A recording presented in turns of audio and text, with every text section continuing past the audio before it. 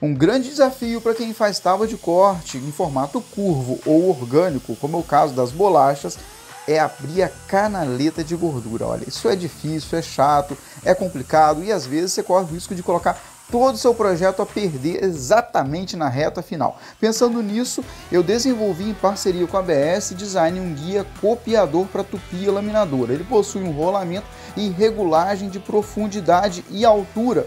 Dessa forma, você escolhe o melhor ponto para você copiar a borda. Isso já facilitou muito o processo. O que você precisa fazer é achar o ponto que você deseja, escolher a fresa e realizar a usinagem. E essa peça você encontra com exclusividade na minha loja, Loja Ébano. Então, ó, não, não perca tempo, garanta já o seu e solucione de vez esse problema. É claro que sempre tem os talentosos que conseguem fazer a mão livre, mas isso é para poucos. É isso. Um abraço e fui. Espero que você goste da peça.